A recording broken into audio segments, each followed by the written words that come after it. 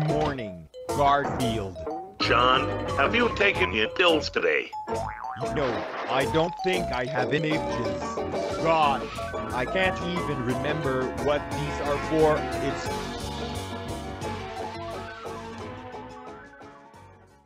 Garfield.